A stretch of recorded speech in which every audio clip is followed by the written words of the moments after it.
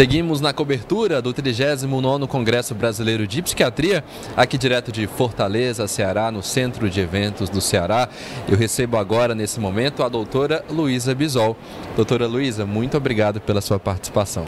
Obrigada, Lucas, pelo convite. É uma honra ter participado, ajudado a ABP a organizar este 39º Congresso Brasileiro de Psiquiatria, que estamos recebendo aqui em Fortaleza.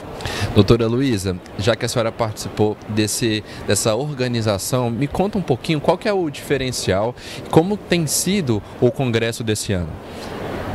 Lucas, na verdade, assim, este é o primeiro pós-pandemia, né? Então é o primeiro grande congresso presencial da psiquiatria após a pandemia.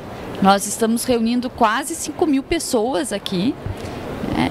num espaço amplo, com vários convidados eh, nacionais e internacionais.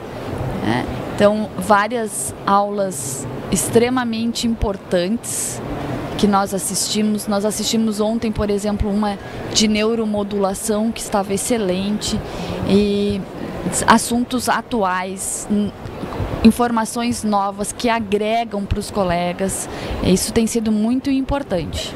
É, doutora, e gostaria de saber um pouquinho é, sobre o conteúdo científico desse congresso. A senhora indicaria, faz alguma recomendação para o congressista que está aqui presente, algo que hoje ou amanhã ele não pode perder?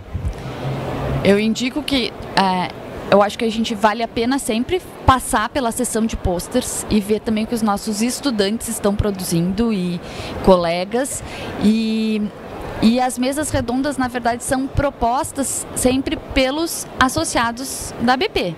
Então, a gente tem é, professores titulares de várias universidades e no sábado a gente vai ter uma atividade especial que vai ser o curso de prevenção de suicídio, que será gratuito para todos os inscritos no CBP.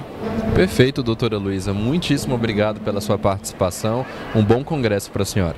Obrigada, Lucas. Seguimos na cobertura do 39º Congresso Brasileiro de Psiquiatria.